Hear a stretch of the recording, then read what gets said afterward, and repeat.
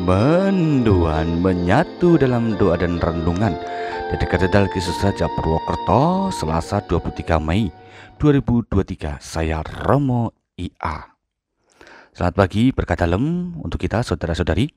Semoga kita dikaruniai kesehatan dan kebahagiaan Agar bisa menyelesaikan pesiaran hari ini dalam kesempurnaan kasihnya Mari pagi ini kita renungkan sabda sebagai bekal perjalanan hari ini dari Injil Yohanes bab 17 ayat 1 sampai 11a.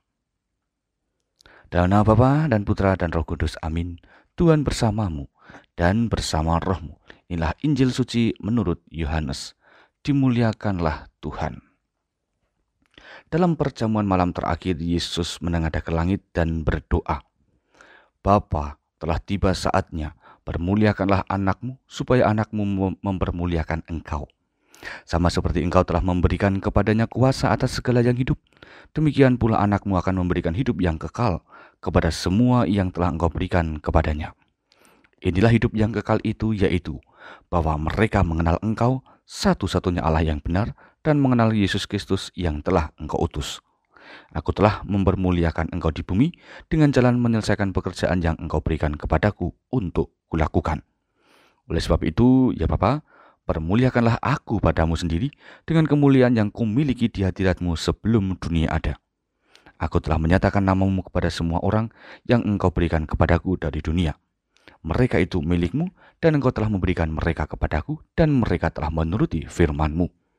Sekarang mereka tahu bahwa semua yang engkau berikan kepadaku itu berasal daripadamu. Sebab segala firman yang engkau sampaikan kepadaku telah kusampaikan kepada mereka, dan mereka telah menerimanya. Mereka tahu benar-benar bahwa aku datang daripadamu, dan mereka percaya bahwa engkaulah yang telah mengutus aku. Aku berdoa untuk mereka, bukan untuk dunia aku berdoa, tetapi untuk mereka yang telah engkau berikan kepadaku, sebab mereka adalah milikmu, dan segala milikmu adalah milikku, dan milikku adalah milikmu. Dan aku pun telah dipermuliakan di dalam mereka. Aku tidak lagi ada dalam dunia, tetapi mereka masih ada di dalam dunia, dan aku datang kepadamu. Demikianlah sabda Tuhan. Terpujilah Kristus. Saudari, saudara, tugas Yesus adalah menaati kehendak Bapa. Ketaatan itu mewujud dalam perjuangan menyelamatkan manusia. Maka akhirnya Yesus berdoa untuk setiap orang yang akan diselamatkan melalui doa pribadinya kepada Bapa. Menikmati doa Yesus ini seumpama seseorang yang memberikan laporan pertanggungjawaban atas pekerjaan dan pengabdiannya. Betapa kita itu sebetulnya sebagai manusia dibela oleh Yesus di hadapan Allah Bapa. Yesus mengendaki kita semua berada pada jalan keselamatan kekal. Maka, mengenal Allah Bapa dan Tuhan Yesus merupakan unsur pokok untuk sampai pada taraf keselamatan itu. Saudara-saudara, totalitas pelayanan Yesus ditunjukkan bukan hanya dengan karya, tetapi juga sampai pada doa sebagaimana dalam Injil tadi. Karya dan doa adalah bentuk keseimbangan sempurna untuk sebuah pekerjaan kebaikan. Maka, kita diajak untuk melihat perjuangan sebagai orang-orang baik. Apakah sudah menyatukan segenap proyek karya dalam doa? Ataukah aplikasi dari aneka doa itu terwujud secara sungguh-sungguh melalui suatu karya yang konkret? Hari ini, semoga kita semakin mampu menghidupi identitas abdi Tuhan dalam keseimbangan karya dan doa.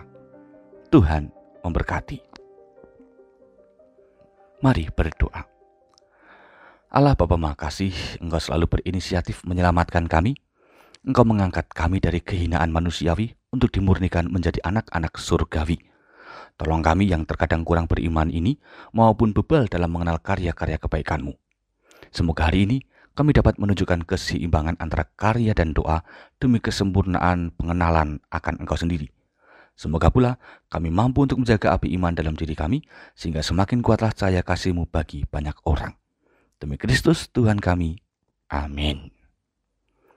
Tuhan bersamamu dan bersama rohmu kita semua keluarga kita dan segala perbuatan baik kita hari ini senantiasa dalam berkat Allah yang Maha Kuasa. Bapa, Putra, dan Roh Kudus. Amin. Saudari-saudara, selamat beraktivitas. Tuhan berkati. Salam mendoan.